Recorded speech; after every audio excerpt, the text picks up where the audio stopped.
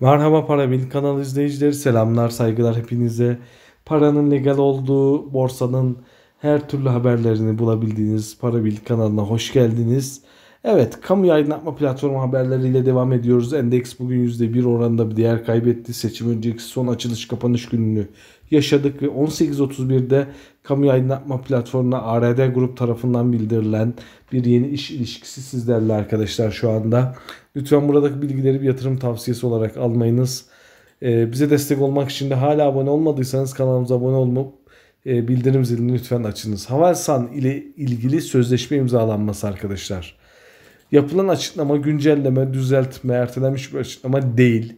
Müşteri Havelsan Hava Elektronik Sanayi ve Ticaret Anonim Şirketi ciro ve karlılığa olumlu yönde etki etmesi beklenen bir yeni iş anlaşmasıymış.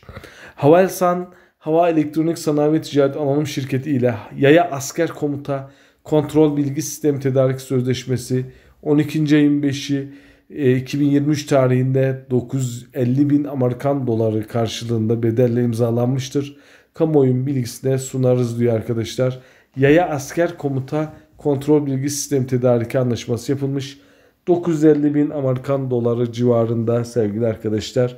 Baktığınız zaman şirketlerin sürdürülebilirliği açısından özellikle küçük şirketler için, yazılım şirketler için önemli bir haber olarak gözüküyor.